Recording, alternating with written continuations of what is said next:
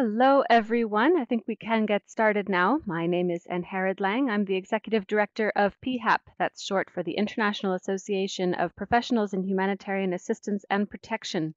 I'm very happy to be welcoming everyone to this webinar today, Coordinating Access for Humanitarian Protection. This is the final webinar in a series of four events organized by the NRC, the Global Protection Cluster, and PHAP with financial support from USAID, in which we're looking at the challenges faced by practitioners related to access and humanitarian protection. So with that, we'll turn to the substance of today's event. In this series, if you've joined us for previous events, you know that we've looked at access and protection challenges from the angles of how to best negotiate access for protection, and then in our most recent event, how to avoid doing harm to affected people in the process. As we all know, without access, humanitarian actors are unable to reach uh, affected people with assistance as well as protection. Indeed, access is a condition for protection, both protection programming and protection by presence. In most crisis response contexts, multiple protection actors are seeking to access affected populations at the same time. As humanitarian actors are interdependent, with the actions of one affecting all other actors in a response context, they often face situations where there are coordination challenges related to access and protection. In today's fourth session of this webinar series on access and protection, we'll be focusing specifically on issues related to coordinated negotiations and approaches to access, including the use of armed escorts, civil military coordination, and coordination with peacekeeping missions, and how these can all have implications for protection. As in our previous events in this series, we'll be looking at the concrete situations submitted by you, the participants, so that we can focus the discussions on issues that concern you the most. So to help us examine these situations, we're joined today by a panel of experts who bring a lot of experience working on coordination related to access, protection, and civil military coordination. First, joining us from New York is Aurélien Boufflet, Chief of the Policy Advice and Planning Section at OCHA. Warm welcome to you, Aurélien. Hi, uh, hi everyone, uh, and happy to join. Great, great to have you with us. Then in Bamako, we have Marie-Emilie Dozin, Protection Cluster Coordinator for Mali. Welcome, Marie. Hi everyone, thanks for having me. Thanks for being here. And in Tunis, we're joined by Anne-Marie McKenzie, who's the Protection Cluster Coordinator for Libya. Welcome to you, Anne-Marie. Uh, hi, everyone. Great to be here. Thanks for having me. And next we have Sarah Vimir, Protection Advisor with the World Food Program in Mali, but joining us today from Geneva. Welcome, Sarah. Hello, everybody. Very glad to be here.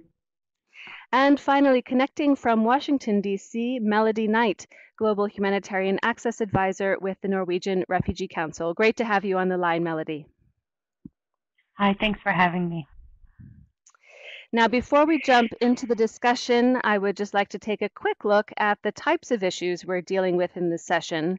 More than 300 registrants took the time to complete the pre-event questionnaire for today's event, uh, in which types of issues regarding which types of issues you had faced in your work, and many of you also submitted detailed examples of these, which was tremendously helpful in the pre preparation of today's discussion.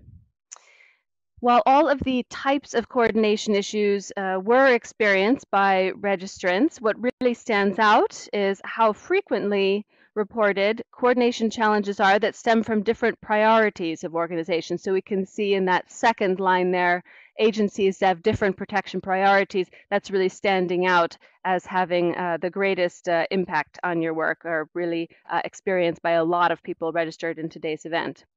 Regarding issues related to CMCoord, using armed escorts due to the security situation is much more common, actually, among you than situations where the authorities require escorts to be used, or when physical access constraints require the use of military equipment. So that's something interesting to keep in mind. We have examples of, uh, of both types, but just to note that, um, that yes, the, in a sense, voluntary use of uh, of armed escorts is actually a more prevalent uh, issue than, uh, than actually being required to use um, armed escorts, although both are of concern. Now, for our first theme, we're going to start with a type of challenge that many of you also reported having experienced, that of when authorities with control over access try to ensure that this access is on their terms by dividing humanitarian actors, or in a sense, playing them against each other. I'd like to first turn to Aurélien, who would be, um, so to you, Aurélien, what would be your main overarching recommendations for how to approach this type of situation before we dive into some of the specific examples that we've received? Over to you. Thank you, uh, Angharad, and, and thank you to, to the PHAP team and NRC and the Protection Cluster also for organizing uh, this uh, series of events. Um, look, look, to answer your question, the, the divide and conquer strategy used by some parties to conflict against uh, humanitarians is not new, uh, particularly in situations where we have significant protection uh, concerns, and in fact, it's probably increasing across um, emergencies. I mean, from Yemen to Myanmar to Venezuela, uh, Cameroon, to name only this.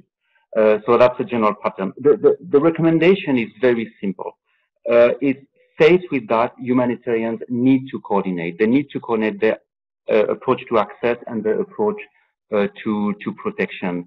Each organization needs to recognize that it is not able alone to, to, to address all uh, protection and access challenges uh, each organization needs to recognize uh, that each decision uh, it takes has an impact on other humanitarians and may possibly uh, undermine, undermine uh, others. So a coordinated approach uh, is absolutely necessary amongst us.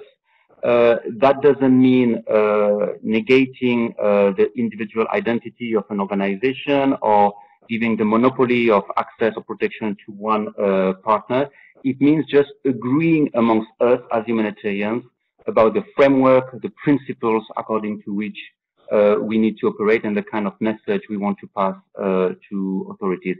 It is, of course, OCHA's role to promote that, and we have a series of tools to that end, uh, from uh, access working group to access strategies uh, to joint operating principles, and I'm happy to, to, to, to come back to that during the discussion suffice to say that this works when they're implemented effectively. And I take the recent example of Afghanistan, uh, where the team uh, there, the human and country team, did a fantastic job around the COVID-19 crisis and access uh, in that uh, in that context.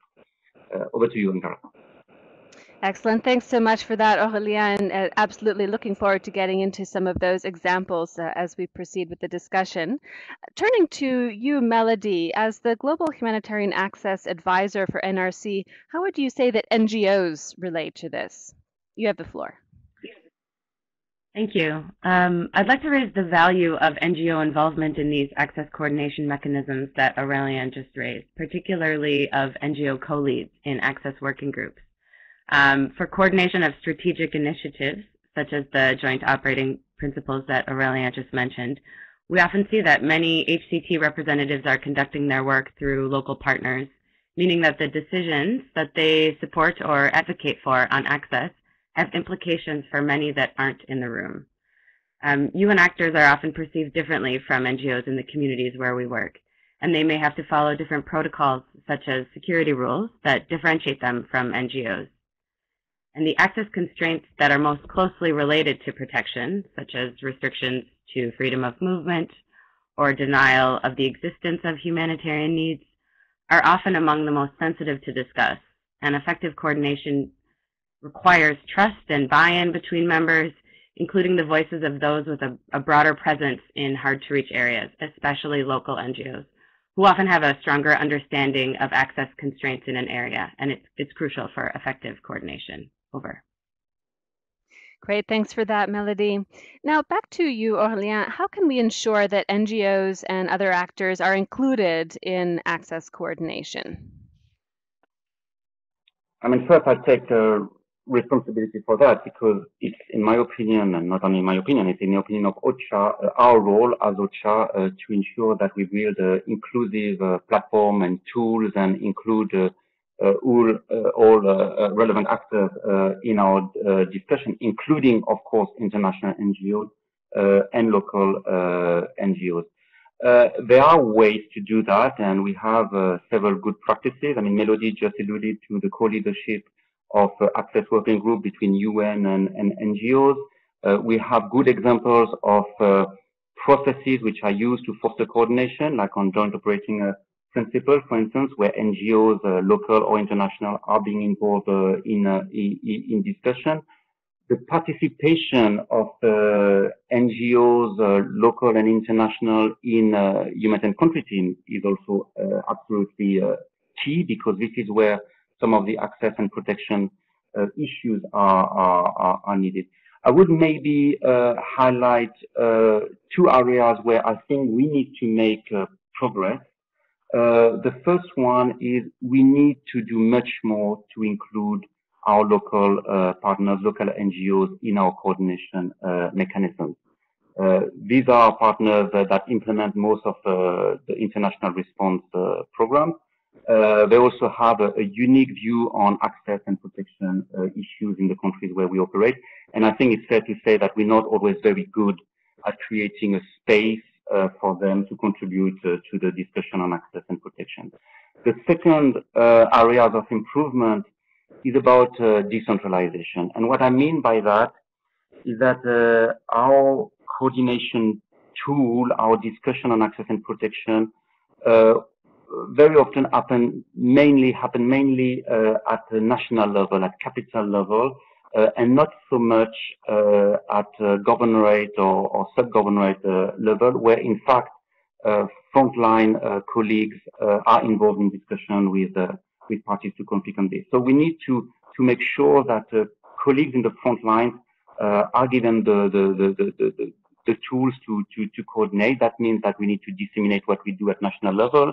We need to make sure we train uh, colleagues uh, in the in, in, in, the front line and make sure they are familiar with uh, the coordinated approach uh, agreed upon at the national level. Over to you. Very good. Thanks for that, Aurélien. Now, before we turn into the uh, specific examples, just to turn once more back to Melody, what would be your other recommendations for how to approach these types of situations when a coordinated approach is needed to respond to pressures from authorities? You have the floor, Melody. Thank you. Yes, coordination should be adaptive to the context. So as Aurélien just mentioned, national and formal coordination is important for initiatives such as strategizing, evidence gathering, policy development, advocacy, um, but area or locally oriented coordination can also build trust and provide opportunities again to prioritize national voices. I'd also like to emphasize the value of OCHA's role as a direct negotiator in the field, which is particularly helpful when pressure from authorities or communities is mounting, as it can give space for NGOs operating in that area. Um, but coordination can be as informal and as regular as a call between a protection coordinator and an access coordinator to share priorities or minimize duplication. It can be time bound and thematic. For example, responding to a localized event such as a drought in a hard to reach area of Afghanistan or prioritizing pooled funds for hard to reach areas or even for a specific cluster or sector to convene on an access constraint that affects their work specifically, such as vaccinations in an area under the control of a non-state armed group or as food distributions in, a, in an insecure part of South Sudan. Uh, it's just really important that we keep access on the agenda of the HCT when access is relevant. Often protection concerns aren't well understood in hard-to-reach areas, and access coordination mechanisms can be heavily involved and responsible for advocating for the needs of those in these access-constrained areas. Great, thank you. So now let's take a look at some of the concrete examples that participants have sent in prior to the event. The first one is regarding a situation where authorities ended up dividing the humanitarian actors in a way, uh, in the way that they gave permission to access affected areas. So I'll just read it out here. This is from someone working with an NGO, uh, an INGO. In a context where I've worked, the government required humanitarian agencies to obtain special permissions to move and work with IDPs in the affected area. Permissions were only given for three month periods and given in an arbitrary way to some agencies and not others. This created tensions, particularly where those who had permissions would, quote, keep their heads down for fear of government retaliation or revoking of permissions. So back to you, Melody. What would be your main recommendations for someone faced with this general type of situation? Over to you. Yeah, this is unfortunately a common problem that we face in access restricted contexts. Authorities or communities attempting to control access to an area or demanding beneficiary lists and playing organizations off of one another to achieve their demands. My recommendation would be to raise the issue to the relevant coordination mechanism, as we've previously discussed. Hopefully there's an access working group, but if not, a cluster, an NGO forum, an HCT, the donor, wherever there's space to effectively discuss this issue and define a way forward. Um, as, as we already mentioned in the previous section, several examples of processes undertaken to develop collective red lines on a specific issue, such as taxation payments or beneficiary lists, have, have gone on, but there's times when access coordination mechanisms facilitate these, these cluster-led consultative approaches that take into account protection concerns and are ultimately approved by the HCT, and yet and, and yet we find that these, these processes can sometimes be a bit too idealistic and too top level, maybe too focused on a, a perfect process. Uh, they may lack a plan or a process to ensure compliance, or senior staff are sometimes unaware of the realities that their staff are facing in the field. So we need to make sure that these, these processes ensure measures to uh, share learning with, with field colleagues and, and to work um, and to work with our, our colleagues that are based in these hard to reach areas to share what the red lines are that, that have been developed. Got it. Thank you very much. Let's turn to the next situation. We have a participant um, who sent in a scenario related to non-state armed groups attempting to tax humanitarian agencies. You already mentioned this briefly, uh, Melody. I'll just read it out. This again is coming from someone with an INGO. Uh, members of a non-state armed group have come to our offices to say that other organizations provided daily per diem to authorities to enable access and that we are expected to do the same. Um, so for this, uh, let me actually turn over to Aurélien. What would be your recommendation for how to approach this type of challenge? Over to you. Uh, thanks, uh, I mean, of course, each uh, situation is, is, is, particular, but uh, what we see that uh, in, in, more and more contexts, this kind of discussion is happening between the humanitarians and and armed groups.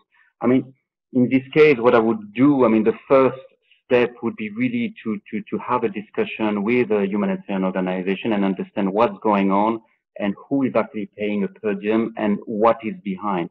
And from them have a discussion on what are the short-term interests and long-term interests of humanitarians uh, and how we can uh, we can agree on common principle, common position on this issue of diem. Once you have this, of course, the, the, the discussion between humanitarians needs to be about how do we engage uh, the non-state armed group uh, in question and how do we uh, convey our collective position. Of course, it's easier when you have a coordination platform that work well, that are in place. When, for instance, a very effective access working group, it's easier to to to to to to do that. I would maybe add a couple of uh, comments. Uh, Melody alluded before to the uh, negotiation role of OCHA. Uh, I mean, just to be clear, I mean, we are happy to to to negotiate on behalf of other organizations uh, when asked to do so. But of course, we will not take the initiative on our own to negotiate on behalf of others if, we don't have a clear understanding with the organization uh, in, uh, in, in question. But in this kind of situation, the added value of OCHA is that we don't have programs on the ground. So we're just here to convey uh, the, the, the position of humanitarians and uh, the armed group in question uh, cannot really affect OCHA's program. So I think that's that that's one of the added value. I would also point to something I I, I, I raised uh, be, be, be before. Uh, it's extremely difficult when a precedent has been created to undo it. Uh, so what we need to do as a community is before uh, uh, organizations take the decision to pay per diem or, or, or pay taxes, ideally have a discussion beforehand in the coordination mechanisms uh, aimed uh, for, for, for, for, for that. And I would end up maybe by one little note on the negotiation with armed groups. I think we need to think about um, uh, what kind of uh, messages uh, we send to the armed groups in when, when we convey a message. Very often, our message is around the human principle and neutrality. We need to to ask ourselves collectively whether this is always the best message to convince an armed group to to to to to allow uh, access and facilitate access. Uh, what is the interest uh, of of the of of the armed group? In other words, in a negotiation, you need to find an argument that speaks to the other party in the negotiation. Over to you, Angela. Thanks, Aurélien. Actually, we have a very on-point question, just building on on your comments just now. This has come in um, in the Q&A from Abdul Monem.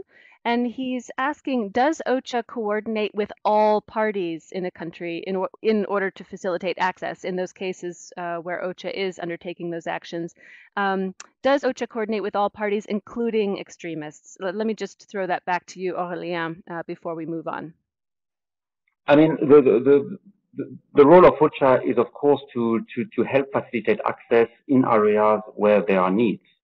And that means that uh, we need to negotiate and uh, and speak to whoever is in control of these areas. I mean, be it uh, national authorities, uh, armed groups, or uh, armed groups uh, labeled as extremists or terrorists by by some member states. So absolutely,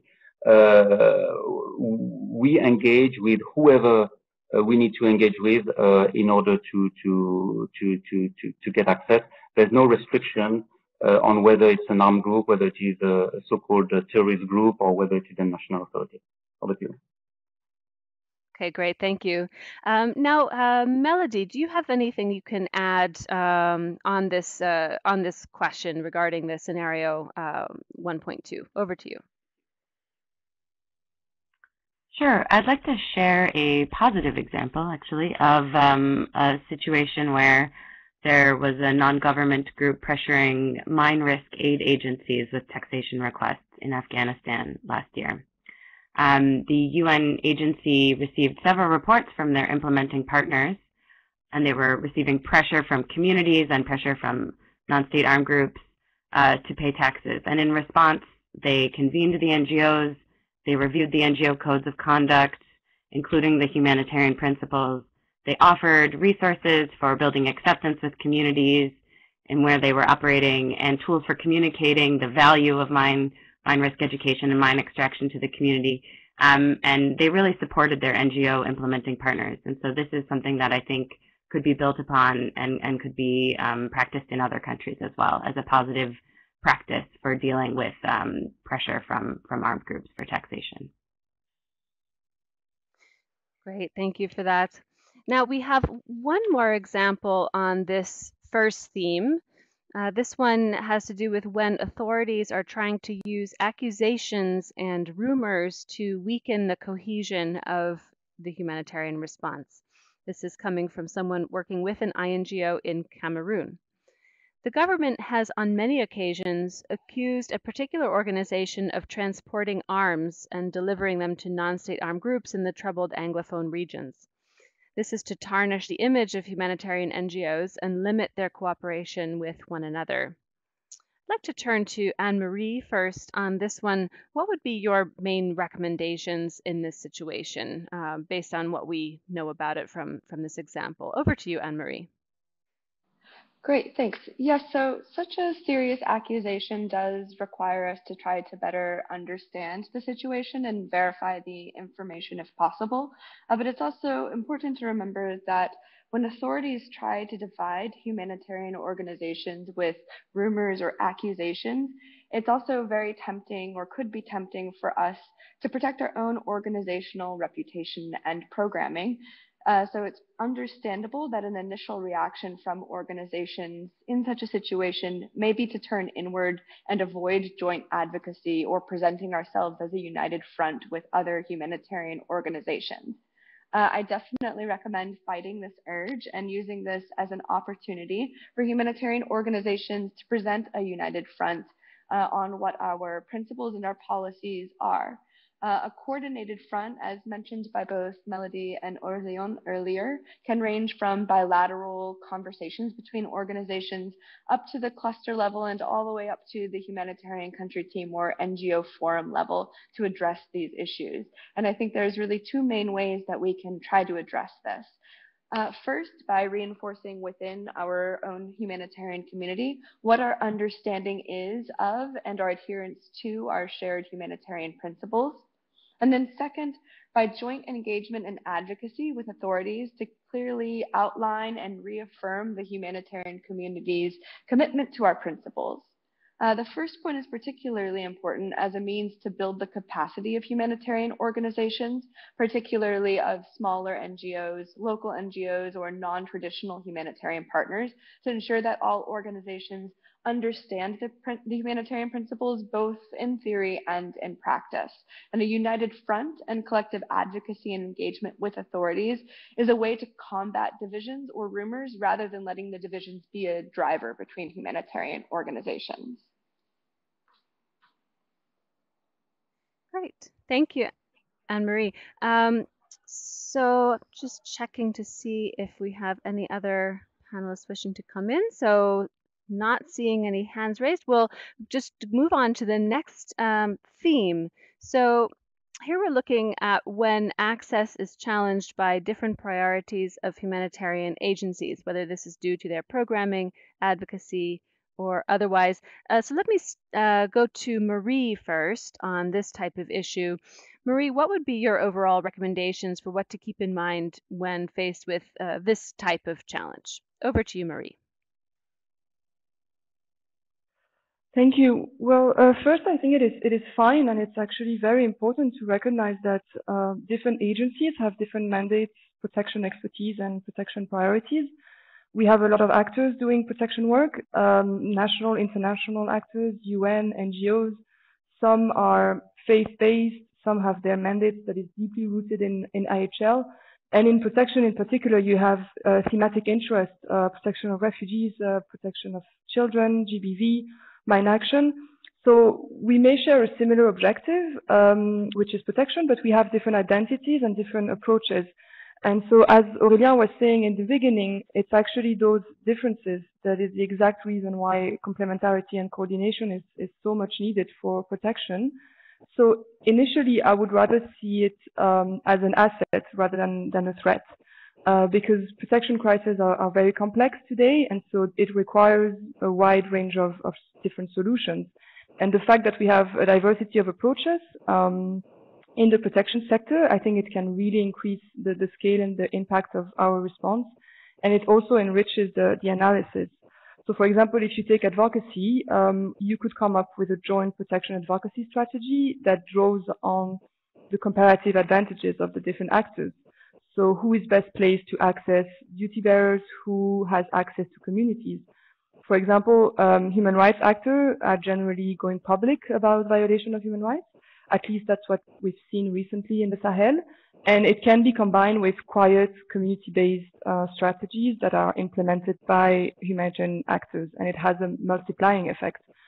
Um, now, that being said, I, I acknowledge completely the fact that some agencies have different protection DNA um, different red lines of what is acceptable and what is not. And sometimes it leads to confusion, to misunderstanding, even to mistrust. So we need to ensure that our action is not going to compromise the, the activities of another protection actor. And to do that, I think we need to carefully assess the different mandates, strategies, uh, priorities of other protection actors uh, operating in the same area and this is first an individual responsibility of the organization itself, but it's also a collective responsibility. And I think that if you have a well-functioning um, protection cluster or any other interagency protection working group, it can actually be the right forum to, to use um, to find common grounds. Um, and to find common, find common grounds for me would be on two different aspects. First, um, complementarity of actions, and second, complementarity of principles.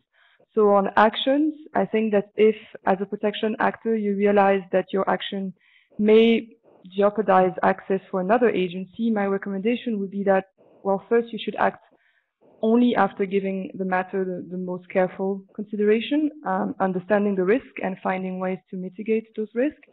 And second, in all circumstances, uh, a protection actor should always proactively advise other actors who might be affected by its action.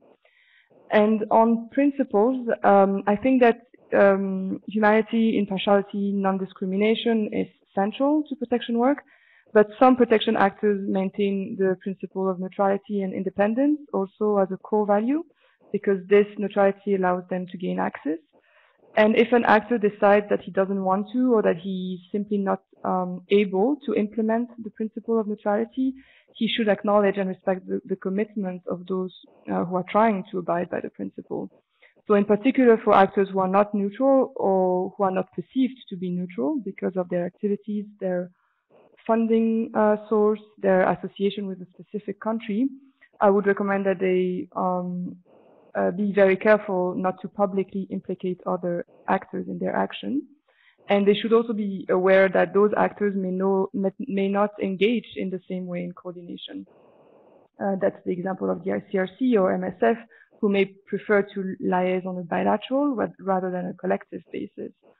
So I think it is, it is um, it's, the aim is not to propose a uniform approach uh, to protection work, and it's fine to acknowledge our differences, but it's also important to establish some minimum standards on action and on principles.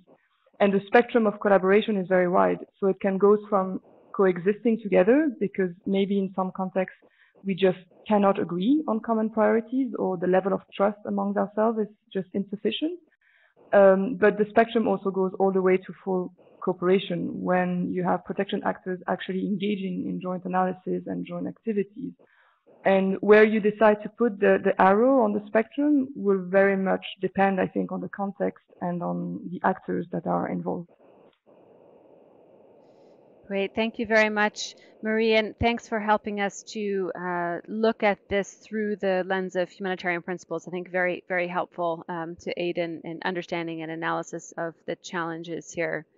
So in our first example from a participant looking on this theme, we have, we're looking at a general lack of agreement among humanitarian agencies as the challenge. So this comes from an independent professional working in DR Congo who writes, in the DR Congo, while drafting the protection strategy for the HCT, restrictions on access due to armed groups prevented important protection work for affected populations. The response was difficult to coordinate due to interagency squabbles. Increased advocacy was the quote, lowest common denominator that could be agreed on, while coordination on concrete programming was limited so Melody, let me turn to you first. What would be your recommendation to this participant? Over to you.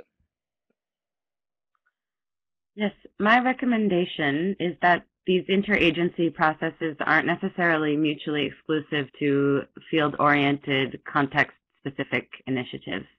So I'll share an example from South Sudan of a coordinated approach that minimized protection risks. Uh, this is a few years ago. There was a part of the country where multiple communities were in conflict with each other and were extremely food insecure. And so aid agencies had experienced um, food distributions that had led to further violence against communities, and they were fearing that their food distribution would further generate insecurity and attacks on their beneficiaries. So a handful of NGOs and UN agencies worked together to coordinate the large-scale distribution of food simultaneously across the front lines of the conflict to mitigate the risk and it didn't require a formal coordination mechani mechanism. It was a relationship between a few people who understood that coordinating their work would reduce the risk to the population. So I guess my recommendation is that sometimes we don't need to over technicalize or over formalize our access coordination work. It can be more based in kind of common sense and relationship building. Got it. Thank you, Melody. And um, uh, th thank you, Melody. And uh, turning to Marie, um, do you have any points that you can add on this type of challenge? Over to you, Marie. Yes, um, in this example, it seems that uh, protection actors could not agree on common protection priorities to draft um, the HCT protection strategy. So I wanted to give an example of where an HCT protect protection strategy can actually be a useful uh, tool to agree on protection priorities and to make progress on access. Um, so in Mali, the, the, HCT protection strategy is currently being drafted uh, thanks to the support of a PROCAP. And the HCT members have agreed on, on three critical protection issues.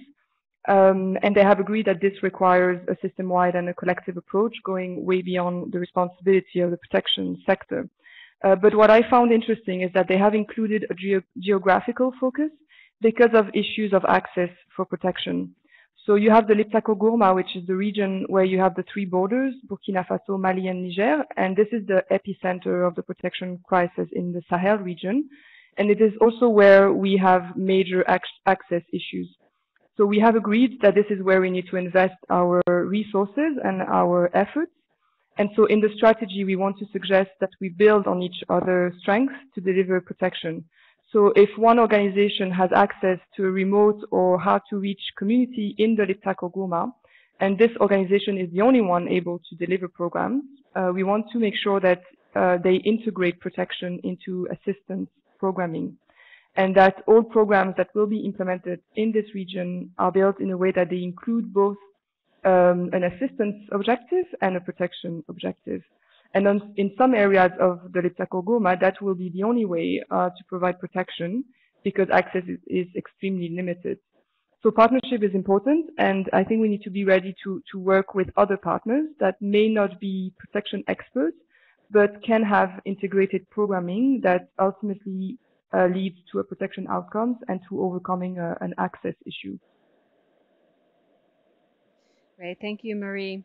I'd like to move to our next example. This is um, regarding specific, uh, an example of the specific programming of an NGO leading to difficulties for other NGOs. So this is looking at that um, uh, that uh, interaction uh, between the activities of one affecting the others. And it comes from someone working again with an INGO in um, in DR Congo, who writes, an advocacy project focusing on demobilization, repatriation, and reintegration of ex military has put other humanitarian organizations at risk when the local population considers that all NGOs are working to collect guns for money. So, uh, staying with you, Marie, what would be your reflections on this uh, specific challenge? Over to you. Well, the example is from uh, DR Congo, so it resonates also a lot with the context that we have here in Mali, where you have a UN peacekeeping mission with a strong protection of civilians mandate. So the mission is conducting conflict resolution and mediation activities, providing uh, physical protection and building uh, a protective environment. And this is an example of a DDR project, which I understand is implemented in a context where you have humanitarian actors and a peacekeeping mission. And for me, it goes back to the issue of um, distinction and perceptions. So basically making the distinction between the blue UN and the black UN, so the civil and the military parts of the UN, where sometimes in contexts like in the DRC or in Mali, it's very easy to blur the line. And it's the distinction that is not always well understood by, by the community. So um, my first recommendation would be that we need to um, to first change the perception that communities have about the project. This requires a lot of efforts to explain humanitarian principles, to articulate the, the nature of the work that we do, to clarify what is a humanitarian activity and what is not. And it's an endless and, and crucial task. And, but I think we should never consider that we have spent enough time explaining those key uh, concepts. We had a, an example in Mali recently when a protection actor wanted to conduct an assessment in a village that had been attacked by um, an armed group. And it happened that the UN team drove past the, the, same community the day before the attack. So the population associated any humanitarian actor with, with the attack. And the protection actor found a lot of resistance. And they had to come back for seven consecutive days to engage in a dialogue with the community to explain the purpose of their work, their mandate, the principles. And in the end, they managed to build acceptance on the long run through a direct presence in the community and by and by working on perceptions. so I know it's it's time consu uh, time consuming, but in itself, it's it's already a protection activity that is providing access. And uh, and second, my recommendation would be to to anchor the, the principle of distinction, and that for me is, is the role uh, of OCHA and, and civil military coordination mechanism, who have particularly in a peacekeeping context an important role to to make sure that those types of activities are undertaken in coordination with the humanitarian actors because in this example, DDR project is very much linked to building a protective environment, which for those who know the, the EGG model is, is one of the three types of protection activities that are implemented by humanitarian actors. So co coordination for those types of activities, for me again, is, is essential. Got it. Thank you for that, Marie. Next, we have an example where organizations are concerned about information sharing due to potential access restrictions on the part of the government or armed group. I'll just read the example here. Protection organizations in our uh, in our contact collect potentially sensitive information that they fear, if published or shared widely, would would would impede their access due to the government and or non-state armed actors retaliating for collecting information on violations and protection risks that they perpetrate. Anne Marie, can I turn to you first for this example? You have the floor. Yes, absolutely. So this is definitely something that we've seen a lot, and that is quite specific to protection organizations. This fear is particularly valid for partners who may have high visibility, such as being the only protection organization working in a specific geographic location. This is an example where coordination structures can be particularly useful and can strive to find creative solutions to protect the organizations while still ensuring affected populations are able to access protection services. One way a protection cluster or the coordination system can help to alleviate this issue is through organizing joint assessments between multiple organizations or agencies which in an ideal setup would include national and international partners, UN and NGO uh, organizations. This is obviously not always feasible and also might not provide even enough protection for the organizations. As such, a second recommendation is using the cluster to uh, further our advocacy and reporting. Uh, so through the anonymization of data and information that's collected by partners, the partners can share this information with the cluster, and the cluster can then disseminate the information with the coordinators then engaging directly with humanitarian leadership or other key stakeholders. The cluster can conduct bilateral and sort of private or quiet advocacy with appropriate stakeholders on behalf of the cluster members. Both recommendations, first of the joint assessments and second of advocacy conducted by the coordinators on behalf of their members, are meant to diffuse liability from a single organization to a forum, such as the cluster, that has the ability to withstand a bit more exposure in a way that operational partners might not be able to. Great, thank you for that, Anne Marie. And I'd like to turn then also to Marie. Do you have anything you can add um, on this? Any examples? Over to you. I, I fully agree with, with what Anne Marie was, was just saying, um, and I'm, I'm not sure I, I could say it uh, better than, than the way she, she just presented it. I, I wanted to add that we, we don't acknowledge, I think, enough the risk that some actors are taking, particularly those who are working within the communities and who have to collect um, sensitive information about protection issues. For example, the, the role of frontline NGOs uh, conducting protection monitoring activities.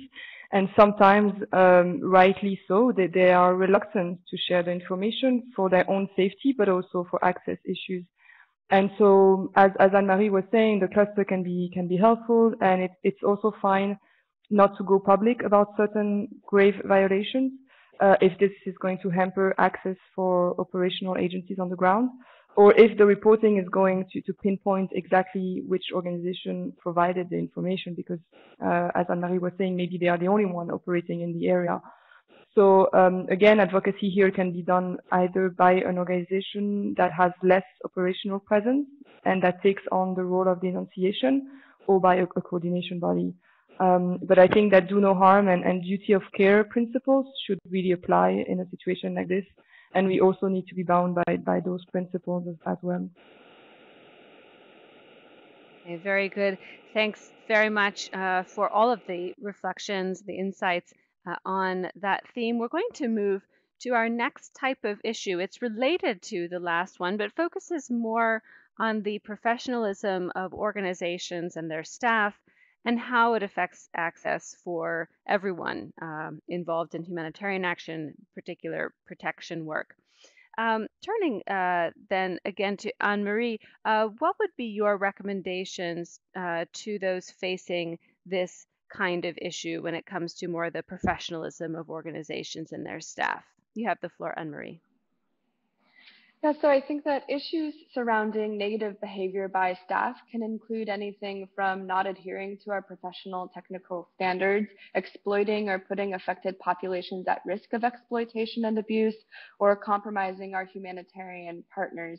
Uh, as Marie was just talking about the do no harm principles, the principle of humanity and neutrality, partiality and independence, all of these need to be at the core of our response. So when we see uh, staff behaving poorly or professionalism and accountability not being upheld, uh, that we need to reshift how we train our staff and the conversations that we're having within our organizations and within our humanitarian community as well. I see a, a, lack of professionalism or I guess a, a, presence of bad behavior as a symptom of not enough training on principles and standards, but also as a symptom of not engaging properly and effectively with affected populations and having a lack of accountability to the communities that we work with and in. Uh, this second point is the one that I want to focus on as this is where coordination mechanisms can be more fruitful. Uh, we should actively work to enhance our community acceptance through meaningful community engagements and uh, building robust mechanisms on accountability to affected populations. It's critically important that we ensure at both the coordination level and the implementation level that our responses are centered around the populations we serve as a way to shift power dynamics between organizations and affected populations to ensure that we're held accountable and to ensure that the communities receive the assistance that they want and that they need. Uh, this can be done through capacity building, the creation of two-way dialogue between communities and humanitarian organizations, and the establishment of coordination mechanisms that are meant to enhance our accountability to affected populations, such as the prevention of sexual exploitation and abuse networks or common feedback mechanisms. In sum, addressing bad behaviors requires a multi-pronged approach uh, of building capacity for staff on professional standards or codes of conduct and principles, creating coordination mechanisms dedicated to accountability, and through meaningful community engagement. Great, thank you very much. And Sarah, if I could turn to you, is this something that you've also experienced in your work and how has it been addressed in, in your experience? You have the floor, Sarah. Thank you very much. Um, yes, absolutely. Unfortunately, I um, I have encountered that as well. Um, unfortunately, um, bad or poor behavior might be difficult to detect um, for because of few um, issues. First, very often affected population do not know their rights and they are afraid to denounce abusive behavior of those who provide assistance. Um, so sometimes, apparently, they even receive threats from those who provide assistance. They, they hear that if they call, uh, complaint and feedback mechanism, uh, they won't receive assistance anymore. Also, uh, very important in some communities, people won't speak negatively of those who provide assistance. Um, it's just something they don't do. Second, if humanitarian actors have complaints and feedback mechanisms in place, um, population often do not know about them and or do not trust them. Um, also, we see that the multiplicity of mechanisms sometimes um, with the, the multiplicity of those mechanisms, sometimes the population do not know which one to use for what question or for what issue. A bit, it's a bit confusing, honestly, even for humanitarian actors sometimes to, to know who is doing what um, and for what. Um, third, humanitarian actors um, sometimes have little understanding of humanitarian principles, standards, and codes of conduct. Um, they're not always they are not always aware of the potential consequences of their behavior in terms of perception and access, of course, but also the consequences for them and for their organizations. Um, I'm saying that I'm thinking mostly of um, WFP partners, local partners in Mali who are who turned quite late to towards um, humanitarian assistance with for more um, maybe in the in development. Fourth issue in contexts like Mali or DRC, for example, it may, it may be difficult to access most areas and thus to monitor humanitarian action in an impartial way. So this leads to um, it, the, the, it may lead also to a lack of access um, and leading to a short circle. Um, so for me, it is very important to engage population in their rights and, and mechanism, and including on the way they work and on the confidentiality aspects. Also, uh, we should engage a bit more on what kind of mechanism they feel is the more appropriate for them. And when I'm saying that, of course, um, asking men and women um, differently and even children. Also, systematically provide feedback to the people who use those mechanisms. This is something that is very much appreciated. We've, we've seen it in, uh, in Mali with WFP um, and also communicate more widely to, communi to communities on the changes um, that prompted uh, that were prompted by the feedbacks and complaints. Also, a very important uh, element that was mentioned just before is to train partners on humanitarian action, humanitarian principles, um, and also warn them on, um, on on the negative on the consequences of the negative behavior. Sometimes they're not they do not really know what are the consequences of uh, sexual exploitation and abuse. They don't really know what is uh, sexual exploitation and abuse. So I think it, it's very important to engage a lot with our partners. We, we do as agencies have a responsibility in doing so. Um, and finally, I think coordination again is extremely important. Um, so in terms of protection, but also in terms of accountability to affected population and testing specifically, as um, Anne-Marie just said, uh, the centralized um, complaint and feedback mechanism is key to increase protection monitoring, but also to reduce um, potential confusions around existing mechanisms for populations. Um, also, it helps uh, provide more consistent information to populations through those common mechanisms, information mechanisms, for example. Um, also, there is, it, it provides opportunities to coordinate, for example, with the Access Working Group, uh, if there is one, to improve general perception. And this is a, a tool, a key tool to increase access. Um, and of course, uh, this could also reduce cost and maximize impact. Thank you. Great, thank you, Sarah. Now, our first example on this theme focuses on how this type of situation, uh, concerns about the professionalism or reputation of work of one entity can affect others, how this can play out within the UN system and beyond. It's submitted by someone working with a local NGO in DRC, and I note that it does uh, echo a number of the issues that have already been raised in the session, but I do think it's a large enough concern. It's certainly worth um, uh, worth examining again from this angle. I'll just read the example now.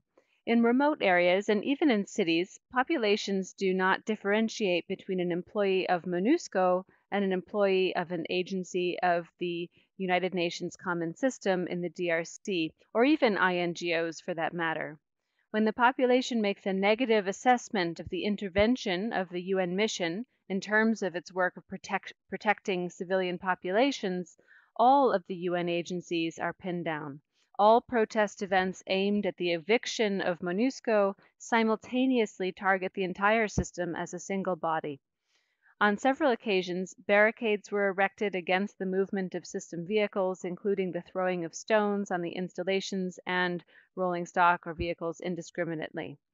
Now, Anne Marie, if I'll turn to you, you're currently working with an NGO, but I think you you've also faced similar situations as this. What would be some reflections from your side on this kind of challenge? Over to you, Anne Marie.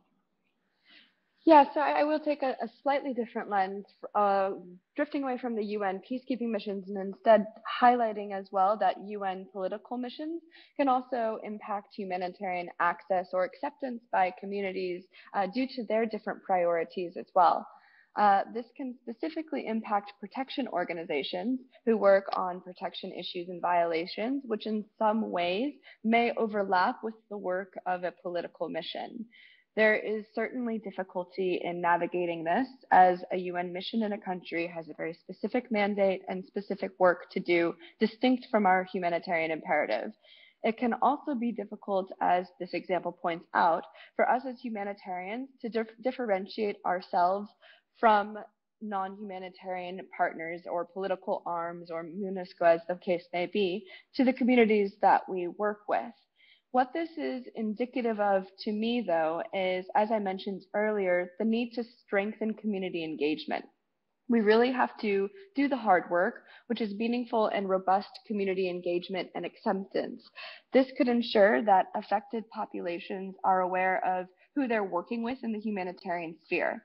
Robust and meaningful community engagement requires that affected populations be actively involved in all aspects of the humanitarian program cycle, and that the humanitarian organizations have a regular and sustained presence on the ground and within communities. Uh, when or if an organization is able to achieve a level of community acceptance and engagement, this issue of a sort of mistaken identity, so to speak, is less likely to happen. Additionally, effective community engagement really underpins our commitment as humanitarians to provide assistance with dignity and in a way that is meaningful to the communities that we work with. Effective community engagement can be fostered through coordination mechanisms by the sharing of best practices, by actor or stakeholder mappings of communities and key community focal points and groups, as well as the creation of key messaging or training on how to effectively engage with communities. This also requires us to discuss with communities who we are, the work that we do, and our relationship with a political mission or a peacekeeping mission. As mentioned earlier, the key is really to get to know the communities who we work with, as well as for them to know us as a way to strengthen our access and avoid being confused with non humanitarian partners. Okay, thank you very much for that. I'd also like to highlight we're getting some great input as well from participants responding to the poll here, sharing your own recommendations for how to address situations where access for protection is put at risk due to the behavior or professionalism, lack of professionalism of other organizations. Uh, some great inputs there. I do recommend scrolling through and um, you can use, uh, you'll be able to see that in the recording as well of the event. So if you'd like to go back after afterwards to review some of the participant input as well, uh, that will be a very valuable resource. We're going to turn next to a set of examples that look at the problem of staff of certain organizations sexually abusing community members. Um, unfortunately, this is an issue that we continue to see in multiple contexts, and we did receive a number of examples, um, sadly, from participants um, who are aware of this kind of issue uh, where they're working. Um, apart from the direct effects on the victims of this abuse, this, of course, also affects the humanitarian response as a whole, in particular in terms of trust and then by extension, access. So I'll just read these in succession here. The first is coming from someone with an INGO, again in DRC, who writes, one staff member of an, ING, of an NGO broke the code of conduct and abused a girl in the community. Other humanitarian staff from different organizations were then threatened by the local population. Then we have a colleague with a UN agency in Uganda who writes from that context In the recent past, several protection related accusations have come up and been reported. Cases of requests for financial or sexual abuse have been lodged against some agency staff. This has been linked to access issues. And then from a colleague with an INGO in Nigeria who writes, Agency staff taking undue advantage of beneficiaries for sex which communities found unacceptable and drew a backlash against other staff. Anne Marie, like many of the other issues we're looking at today, this is of course a huge topic in itself. But what would be some uh, some reflections or just your main recommendation for how to approach this uh, type of problem in terms of its relationship to access? Over to you, Anne Marie.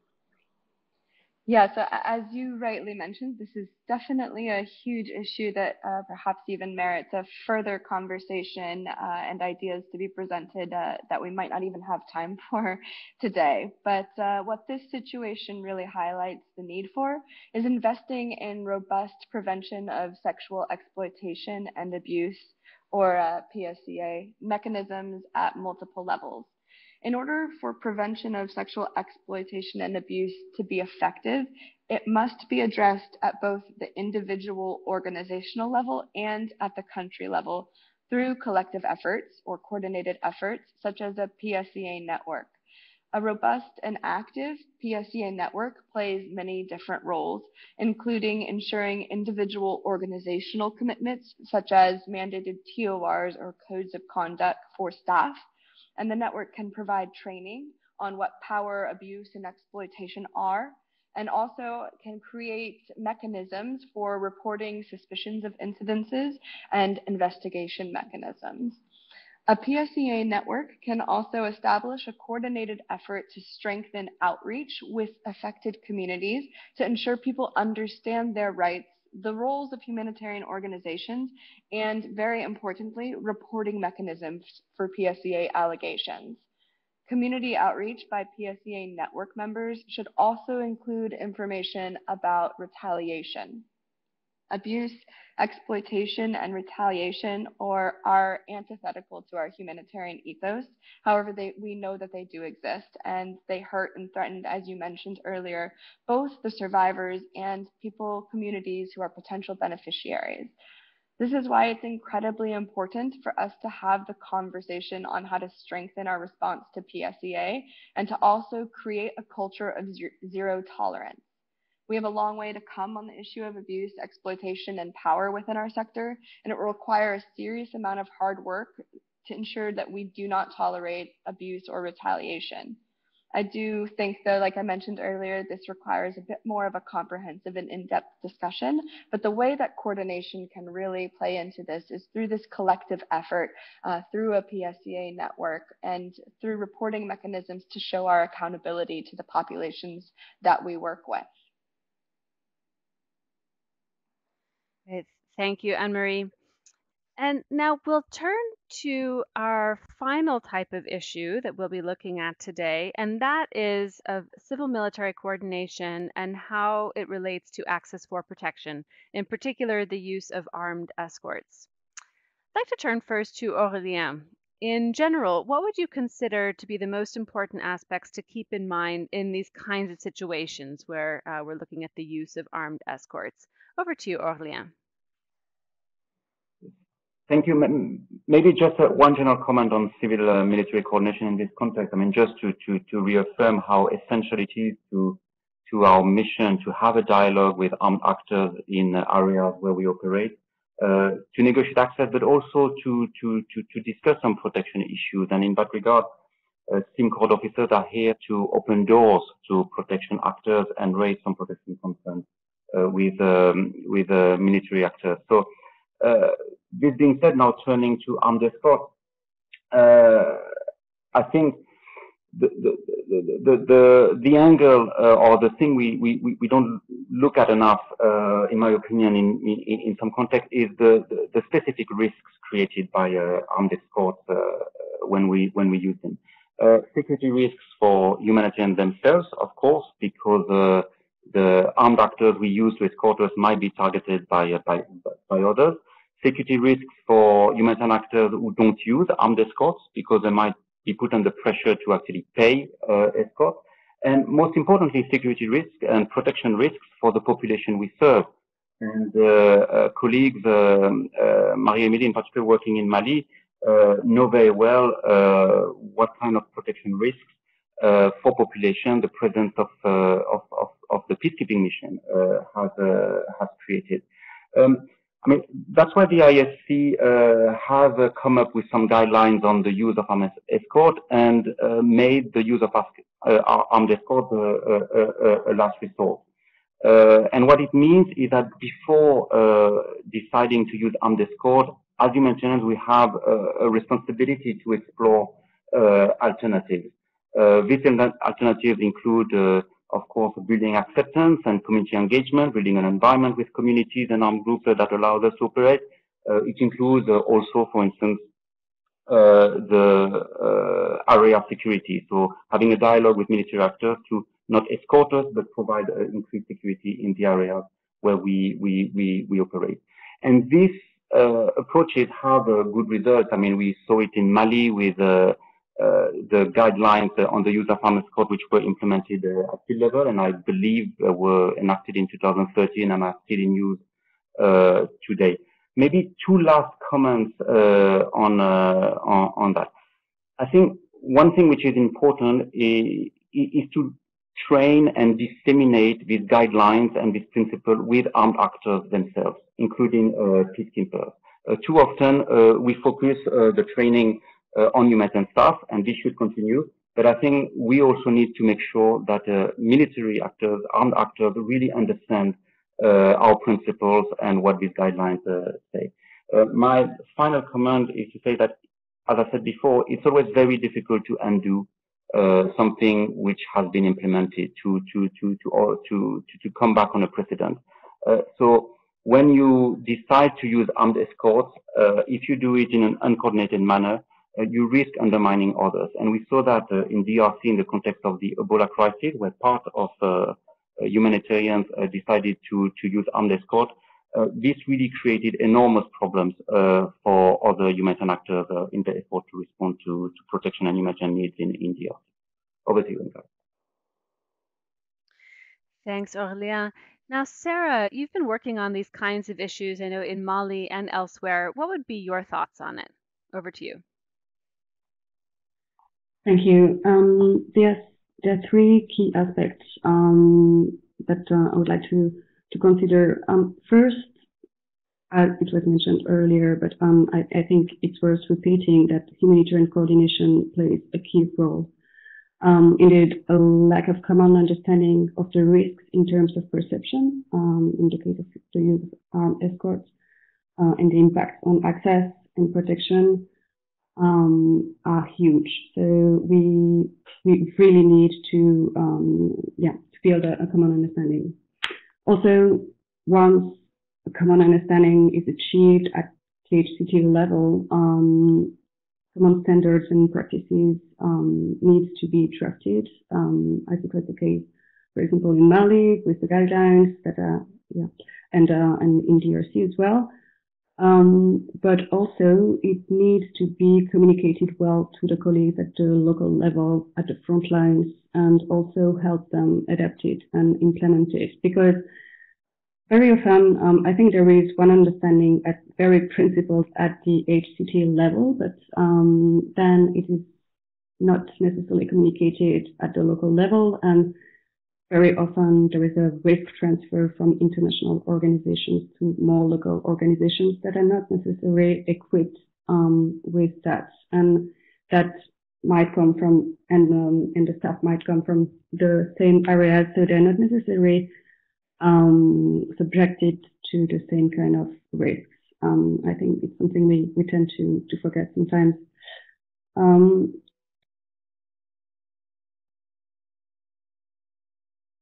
the standards um, and, uh, and the practices need to of the impacts in terms of perception on the long term and not only like in the next weeks, but really on the long term and also on a broader geographical scope. Because, for example, what we do in Mali at the moment may impact humanitarian action in Burkina Faso and in Niger, um, for example.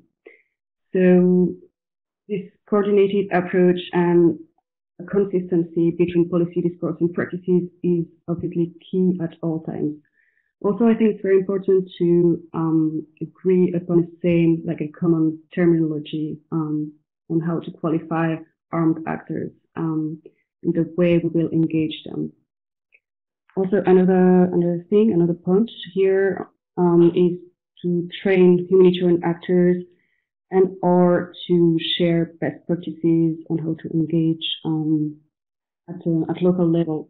So OCHA did facilitate these kind of discussions in Mali or in DRC in the Kasai, for example, where NGOs who had developed tools, uh, very specific and tailored tools to access, um, shared it with other actors, and it's something that works quite well. Another aspect I wanted to highlight is to um, identify acceptable alternatives to the use of armed escorts. Um, that when I say acceptable, it's by both parties, by um, humanitarian actors, and in this case, the government and then the military. Um, so this is very key, and it was it was said already by Aurélien. I think um, it will help having a stronger weight when engaging authorities and armed groups. Um, so I think it's very important to have this consistency and this um, this uh, coordinated approach. So those more acceptable strategies can be uh, can uh, include security area like patrolling, security bubbles like in uh, in CAR for example, where humanitarian actors and the military do not live at the same time at the same place and they they they're not in the same um, area at the same time. Um, of course, engagement with communities through accountability to affected population, for example, uh, is key at all times. Um, um, and it really remains a central aspect to prevent risks and increase access. In Mali, for example, we see that incidents uh, against national and international NGOs occur specifically when um, populations and armed actors do not really know who humanitarian actors are and what they are doing in the area. They're often suspected of being um, spies, um, so it's very important to engage on the long term. I also would like to emphasize that engaging any actor, including armed actors on access and communities on acceptance, is often seen as a one-time event, while um, it's a very long-term strategy. And it's also a prerequisite to a successful negotiation, because before negotiating, um, some level of mutual trust needs to be um, achieved also, the, the type of negotiation needs to be tailored because it depends a lot on the type of actor, on the type of assistance. Um, so I think it's very tailored and specific, locally specific um, kind of engagement and negotiation needs to be uh, to be conducted by each organization, even if, of course OCHA can support the whole process, facilitate the discussions, and also engage some of the actors when necessary. Um, also, I mentioned it before, but um, I really want to emphasize that uh, is that the risk is often transferred to local actors um, for different reasons, um, which may put them at risk um, much more than expatriates. And very often, like in the case of Mali, I was was based in, in Mopti, and we realized that um, it was sometimes much easier for expatriates to engage some of the of the armed groups in the area. Um, and the last aspect, which is more operational, is obviously to once the, the government has agreed um, upon an acceptable, acceptable um, kind of uh, alternative to the use of armed escorts, is to engage both humanitarian actors and the military on their respective mandates. That's also like a long-term process um, because we often forget that the respective mandates are not always very well understood by each of the parties. We'll get back to that later with um, other examples. Um, and also, it's very important to ensure to follow up on the implementation of alternatives. Um, and that can be done by OCHA and Civil Military Coordination Officer. Um, yes, I, I have some other examples, but um, I'll leave it for after maybe. Thank you. Okay, very good. And uh, looking forward to, to getting back to uh, some of those examples then that you have. We'll look first at um, a set of scenarios submitted by uh, participants that concern when authorities require the use of armed escorts. The first comes from a colleague working with an INGO who writes, due to instability and risk of attacks and or kidnapping, we have had a requirement by the government to have armed escorts when travel involves going out of the capital. These have usually been in a vehicle that the organization hires so that it travels in a convoy with the vehicle taking NGO staff. We also have an example shared by a colleague with a UN agency in Mozambique who writes, when government armed forces require an armed escort convoy to be used in certain areas, they often insert or try to insert their armed personnel into private and or NGO vehicles, thus increasing their risk of becoming a target by the insurgents. Can I ask you first, Sarah, um, what are your reflections on these two kinds of examples? So when we're looking at a requirement um, to have an armed escort. Back to you, Sarah. Thank you very much.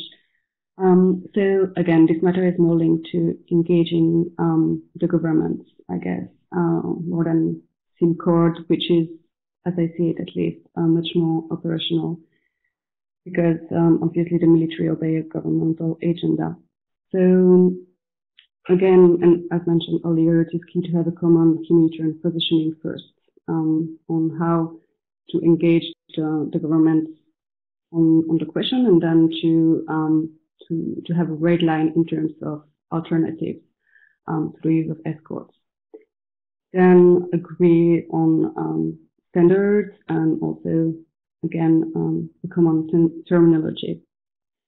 Um, so then an advocacy can be conducted by humanitarian actors, by the HCT, um, led usually by OCHA, um, based on the principle humanitarian action, also re-explaining what humanitarian actors do, how they do it. Um, it's worth saying that governments often fear that humanitarian actors will support armed actors um, that are qualified, um, that are qualified enemies. Um, but this has obviously an impact on the civilian populations if we um, are not able to engage them or if we use armed escorts to um, access some of the areas that are not necessarily under under government control. So it's very important to engage at the at the highest level um, with positive examples of humanitarian action and reminding the government also of its duties and obligations um, under IHL towards civilians on, on, its territory. I know that at the moment, for example, in Burkina Faso, it's, uh, it's extremely difficult to engage the government on those questions because they deny the fact that it's a non-international armed conflict since they qualified their opponents terrorists, um, which, of course, from an IHL point of view, doesn't have um, doesn't make sense, but um, it's very difficult to then um, engage, um, remind the government of its duties. Um, it's also very important, I think, to remind each actor and also the government to um, of the of the the only interest of the humanitarian actors, meaning to to assist uh, population that are affected. Um, it's also um, important to remind the government that the use of escorts might also increase risk, increase risk not only for humanitarian actors, but obviously the, the populations we're serving. Um, in the second time, then uh, humanitarian civil military coordination can take place. And it's we have first a CMCoord officer or focal points. Usually it's OCHA, and it's, uh, it's of course OCHA's mandate to play that role. Um, and then for the CMCoord officer to identify CMCoord focal points among um, humanitarian actors, but also the military and, um, and armed groups. Um, also, what we've done in Burkina Faso, for example, few years ago was to organize workshops with militaries and humanitarian actors to exchange on challenges and to exchange on good practices. Um, I think it's very, very useful for both parties to um, to know more about the mandates and the challenges faced by the, the other party, but also to define solutions that are agreed um, by everybody. Also, obviously, provide training to, to both on a regular basis. Um, CMCoord um, meetings can be can be very useful. Um, and later, when a relationship of trust is established with the military, distinct court officers can also serve as a tool to engage the military on sensitive topics, um, for example, on the protection of civilians. Uh, but um, this, in my opinion, should be done in, uh, in bilateral by OCHA and, uh, of course, in coordination with the protection cluster. Thank you. All right, thank you, Sarah. Uh, now turning to Anne-Marie, um, you've been uh, sharing with us um, already several times in the session a perspective using humanitarian principles to, to analyze uh, the situations we're looking at. Um, this case with the uh, requirement from the authorities to use armed escorts, it's a classic example when we want to look at humanitarian principles um, to help us uh, uh, explain uh, humanitarian action to other actors and, and also analyze our decision making in a context. I wonder if I could turn to you now um, to look again at this situation through that lens of humanitarian principles. Over to you, Anne Marie. Yeah, absolutely. So I think that uh, something the use of armed escorts to deliver assistance requires is understanding how the principles that we have are not necessarily static or, or monolithic, but at a given time, one principle might end up weighing more heavily than another, uh, such as humanity or the need to respond, weighing more heavily than the other principles, and then thus uh, potentially necessitating the need of us to use armed escorts. Uh, of course, when, when or if your organization deems that the need to respond is critical, you really need to think concretely about the potential consequences, the benefits, and the risks of, of armed accompaniment and ways to mitigate those risks. Uh, I do think it's really important that, as Sarah was mentioning, there's a creation of collective red lines. So this is where the coordination really comes in, uh, is at the HCT level or the access level. It depends on, I guess, the operational context. But the creation of red lines can be used on, on and written on the use of armed escorts to be meaningful and practical on the ground uh, for partners to be able to use. Uh, I also do think we ideally first search for alternatives to using armed escorts as Aurélien said earlier, armed escorts should be a last resort. Uh, and this is where CMCoord teams and coordinated approaches through them uh, can really come into action uh, through deconfliction and facilitating negotiations. Uh, coordinated and collective efforts really do play a role here, and we can consider how joint humanitarian convoys for the provision of assistance, the use of humanitarian quarters, or other high level negotiations can actually aid in our ability to maintain fully our principles without having to reach the step of, of using armed escorts. Uh, so definitely coordination can provide some of these more higher level decisions on or actions, but ultimately at the end of the day, the various protection actors and organizations, as Marie discussed earlier, have different mandates and different understandings of or adherence to the humanitarian principles. So this is ultimately going to impact how an organization decides to proceed on the use of armed escorts. And it, it's not necessarily a common understanding at the HCT level that's actually going to uh, impact impact the decisions our organizations make. It might be our own mandates uh, that ends up making us decide one, one way or another on the use of, of armed accompaniment.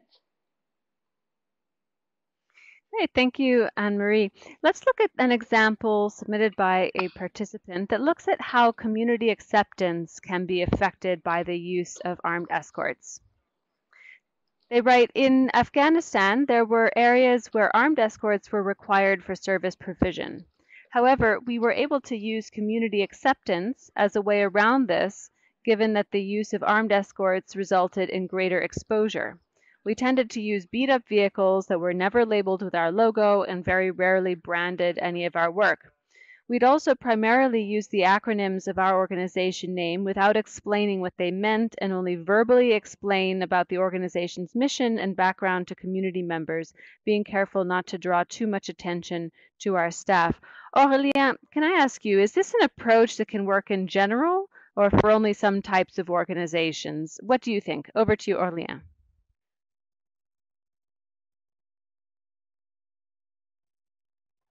Yeah, th th thanks. I mean, it, it, it varies to difficult to answer whether it can be used in general. I mean, as we said earlier, uh, each context is different, and we need to have uh, solutions which are adapted to the to the context. There are several things in the example you you you you you you presented. I would note that uh, the the low key approach, if I can use this, uh, has been used in several contexts. sometimes with uh, huge success, uh, sometimes with mixed mixed result. What I like in this example is that um, partners on the ground really didn't resort to armed escort as a first resort, uh, but really try to explore alternative and build community acceptance. And I think that's something uh, we need to, to, to, to do, in fact, everywhere uh, we are uh, present. Um, we need to invest in community engagement. We need to invest in, uh, in, in, community uh, that means we need time and resources uh, it's a long process. Uh, it's not being done in one day. And it means uh, we need consistency. And what I mean by that, it cannot be simply a posture. If you want to establish a trust relation with the community, it needs also that you, you, you act need to be in line with what you, what you preach. I would add also um, that what we need is really for humanitarian organization and, and donors to to invest uh, in frontline responders and, and make sure they are equipped uh, to, to, to, to build this community acceptance, that we deploy staff that are seasoned enough to operate in this kind of environment, that staff uh, deployed uh, have uh, attended the trainings uh, necessary to, to, to, to, to operate in this kind of environment.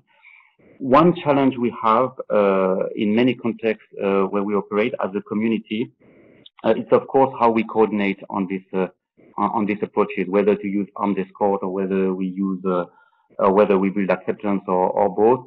Uh, between the UN, between local NGOs, international NGOs, and the Red Cross uh, movement, we have very uh, different culture, and that can create misunderstanding and, and, and can create differences of views on what is the best approach we're trying to, to, to really uh, improve on the UN side at least, and I'm happy to report that uh, now community acceptance uh, has become one of the indicators in our security analysis. So it's not only uh, security analysis based on uh, incidents and armed escort, but community acceptance is one issue uh, we look at in particular, and I hope that will help also coordinate better with our partners.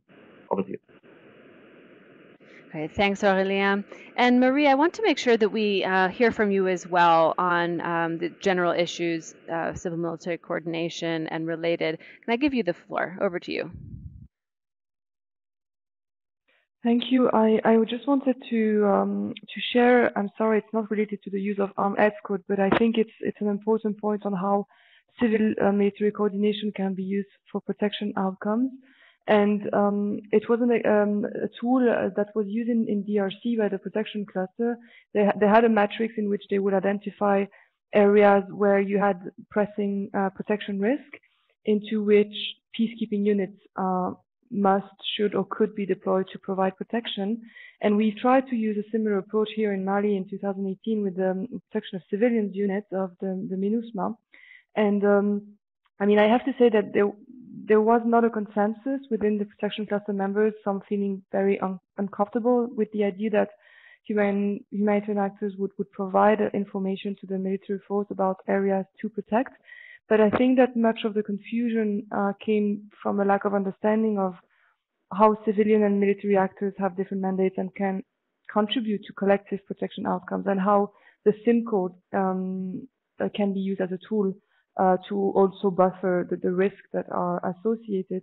And I have to admit, like the, a lot of the lack of knowledge was really on our side, the humanitarian side, because um, I think that at least um, as, as protection cluster coordinator, we are sometimes not equipped um, to, to build those relationships, to, to understand the value and, and the benefits of such interaction, and, and to see how civil military coordination can, can lead to protection outcomes. So um, it's, it's a little bit of um, also a plea for for a, an area where I think the protection cluster and the global protection cluster should should invest um, on on training us and giving us the, the right skill set to um to have those those discussions and, and to engage into those interactions because ultimately it's it's also a way to to improve um, protection outcomes and to achieve things that we might not be able to achieve alone. Thank you. Thank you for that, Marie. Um, uh, very helpful to have that example as well.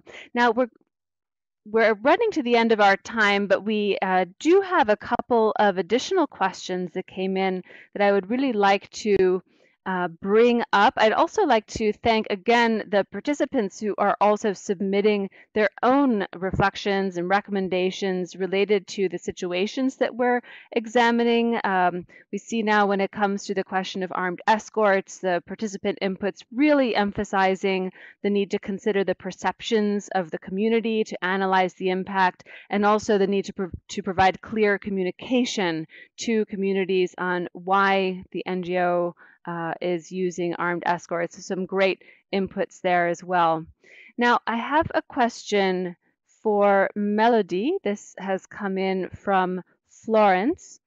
And uh, Florence is writing In some of the rapidly deteriorate, deteriorating situations we find ourselves with leadership that is reticent to undertake negotiations with armed groups.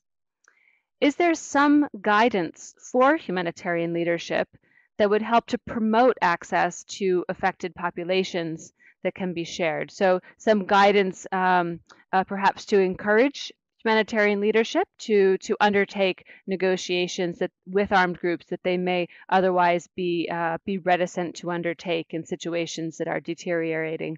Over to you, Melody. Thank you, and thanks, Florence, for your question. I think there's two ways we can look at this. Um, one is what humanitarian leadership, um, what guidance there exists for them out there, and I would say that I would reference the um, Stay and Deliver report uh, authored by OCHA and NRC, um, Presence and Proximity Five Years On. It covers a number of recommendations that are relevant to leadership on issues of humanitarian access. Um, but it's it's absolutely critical that our leadership is uh, is providing clear support and communication um, to their staff and to all relevant stakeholders and parties to a conflict. Um, and this sort of internal clarity and the policy setting is important not only um, as a as a strategy for a negotiation and uh, as a way to present ourselves to uh, various actors, uh, armed actors, or communities or governments um, but also as a as a form of duty of care to our staff, so that that they're clear internally about who we're communicating with and how we're communicating. And the second uh, component of Florence's question that I would say is um, it's really important that members of our humanitarian community that we hold our leadership to account. Uh, we need to keep access on the agenda at HCTs. We need to advocate for hard to reach uh, for needs in hard to reach areas and it's absolutely paramount that we continue to advocate for uh, areas and safe spaces to, to discuss uh, principled dilemmas, uh, possibly risk sharing or ways that we can foster an environment where uh, we feel more comfortable bringing these um, these dilemmas or these questions of concerns who we're speaking to um, with our donors. So, so there's a part that we can play as well in that conversation. Great, that's very helpful indeed, Melody, and some important points to leave us with there. I have one more question. This is for Aurélien, and it comes from Salome, who writes, in the context of lockdown due to COVID 19, for example, where the access is challenged by the pandemic, uh, even more than security issues as humanitarians are facing now, how uh, how has OCHA been addressing this so far, and are there any recommendations for operational continuity? Over to you, Aurélien. Yeah, thank you.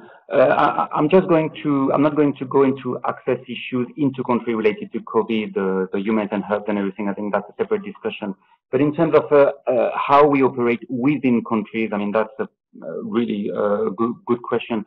We've done several things to, to try to, to improve access in the context of COVID.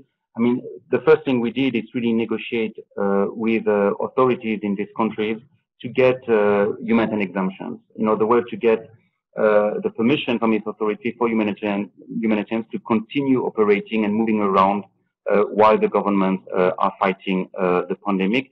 And I have to say that in most countries, these negotiations have been successful and we obtain exemptions. One challenge we have, of course, is with the uh, implementation at uh, subnational level of uh, what has been agreed at national level with the authorities. And here, I think there's still work to do uh, in terms of operationalizing uh, some of the policy decision taking at the central level. I would also add that one of our concern uh, in terms of access in the context of the pandemic was not to become, as humanitarians, an additional risk for population we're supposed to to, to serve. And of course, humanitarian programs uh, have been adapted in many countries in order to address this risk.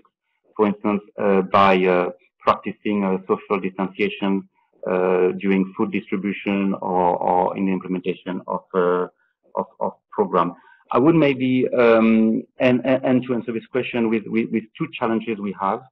Uh, what we see first is in some countries uh, the increased involvement of the military uh, in the response to COVID. And that means that from an access perspective, in these countries, uh, we will have to invest in uh, civil military coordination uh, to have a dialogue with the military in these countries on uh, what we want to achieve as humanitarians in the context of COVID and how we can coordinate uh, with the military. The second challenge uh, we see uh, is around uh, the rising of uh, hate speech against humanitarians and increased attacks on humanitarians in the context of COVID. Humanitarians being accused of bringing the disease to communities. And here too, I think there's a lot of work that we need to be done in terms of uh, communication, community engagement, uh, and explaining uh, what we do for, for, for communities. Uh, if you allow me, I, I, would just like to end by reacting to a question I saw in the chat from uh, Isabel on the risks uh, created by by low profile in, in in Afghanistan. Is that okay with you, Angharad? Yes, absolutely. Please go ahead.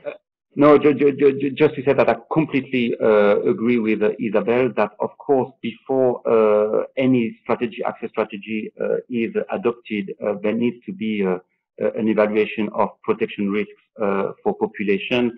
And of course, this kind of low-profile approach strategy can create some, some, some risks. And that's what I was referring to when I said that we had mixed results uh, in some context. I mean, this is something uh, which we need to, to consider very carefully. Over to you. Great. Thank you so much, Aurélien. And uh, now we're going to wrap things up. I'd like to go once more very rapidly around the virtual table here for brief closing remarks. If you have something brief you'd like to share with us before we close, I'll first turn to Anne-Marie. Over to you.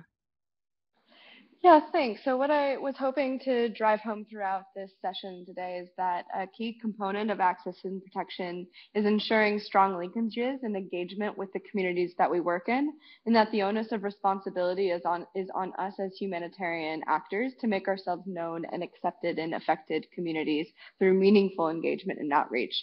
Also, it requires that we really understand and adhere to our own humanitarian principles and that these principles should guide our work and these questions and scenarios that we may find ourselves in. Uh, just continue to reflect and interrogate uh, the principles that we have, uh, especially with regards to understanding how we can better our access. And for protection actors out there, particularly, uh, that these principles should be at the forefront of everything that we do, as should community engagement. So, uh, hoping that access can be strengthened, made better through our effective community engagement and through adherence to these principles.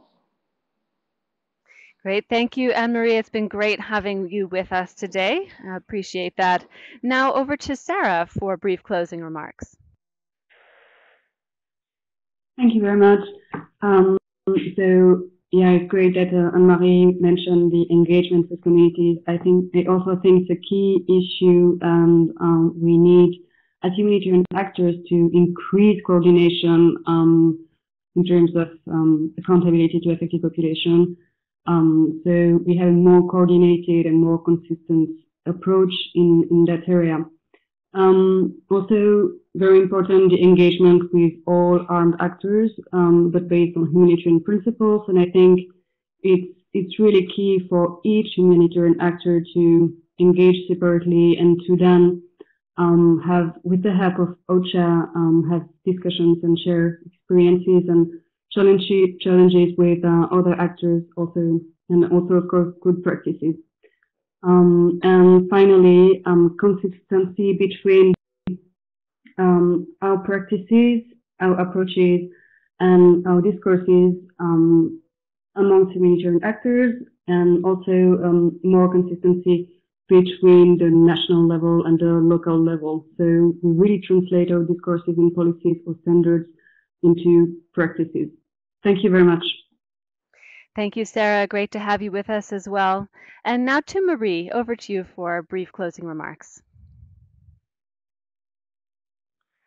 Uh, well, first I wanted to thank you all for the uh, very fruitful conversation. I've um, personally definitely learned a lot, and I'm uh, I'm taking with me that that access is a is a fluid concept, and that we shouldn't see see it as a as a snapshot, but rather as a long term um, endeavor, um, and that protection that is sometimes seen as being quite complex with different priorities.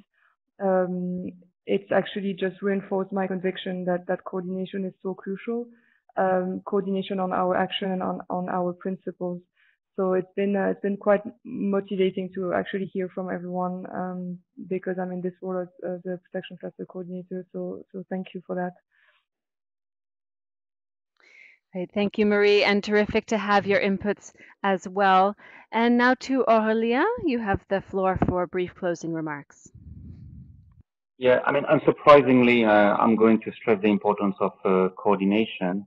Um, everywhere where we take a decision without coordinating with each other, we take the risk of undermining uh, each other and undermining the overall response. So really, uh, um, making sure that we we we we, speak uh, together, that uh, we agree on common approach, common principle, is absolutely key. If individually and collectively uh, we need to be uh, as effective as we should in in the response. And and this discussion showed that there are tools to to to to support effective coordination. Um, I would also stress the need to invest in in acceptance, and I don't think we we are where we should be. this takes time. This takes resources. Uh, this requires that we deploy uh, seasoned staff in a really uh, field location uh, but this is absolutely uh, key if we want the response to be as good as it should. We need to have uh, this acceptance of armed groups, of communities, and an engagement with communities that allow us to operate. And finally, I would maybe close by stressing uh, the importance of linking access and protection, which was the point of this uh, series of seminars. But the, the, protection aspects really need to be at the center of uh, everything we do. And what it means practically uh, it means, for instance, that any access strategy needs to uh, integrate uh, an analysis or an analysis of protection risks, including, for instance, in the use of arm escort, including in low-key approaches to to to to to access. Uh, with this, uh, let me uh, thank you, Angharad and and and and, panelists for, for for participating today, and thank you for all who attended today. Thank you. Thank you, Aurélien. Really appreciate your inputs. And uh, indeed, the, the emphasis on coordination is very welcome indeed. Now, last but not least, Melody, for your brief closing remarks. Over to you. Thank you very much, and thanks to the rest of the panelists for the rich discussion that we've had today. I think it's, pretty clear that despite all the challenges, we've heard a, uh, some positive examples and practice of how coordination in its many forms uh, can reduce protection risks and, and reduce the impact of access constraints in the communities we're serving. Um, and ultimately, that, that coordination can lead to a more principled humanitarian response. So thanks to everyone uh, for the discussion today, and I hope uh, we all take, take these uh, learnings away with us uh, for our response. Excellent. Thank you so much, Melody. And I agree, it's been an incredibly um, fruitful discussion. We've covered a lot of ground today.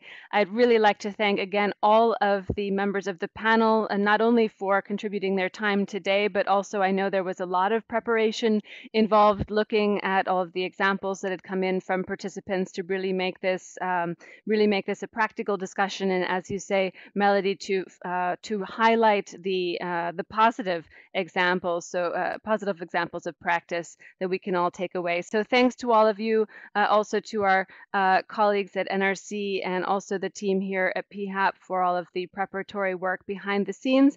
And of course, to our participants for very active contributions in the chat, uh, in the polls, in the Q&A. Very rewarding and um, great that many of you I know were able to join us for the entire series. Now, to wrap things up, uh, I'll just mention that a recording of the event, both in video and audio only podcast format, will be available on the event page in the coming days. Um, and as mentioned at the beginning, this event was the final event in a four-part series on access and protection. If you missed any of the first three live sessions, you can also access recordings of those sessions as well on the respective event pages. You can also continue the discussion in the PHAP online community. There's actually been a lot of discussion already among participants in the community specifically on this topic, and I hope that you'll continue in this channel until we're able to all come together again in this uh, online format for a related discussion in the future. So with that, once again, I'd like to thank everyone, both panelists and participants, for a very interesting and fruitful discussion today. This is Angharad Laing signing off now from Geneva. Bye bye.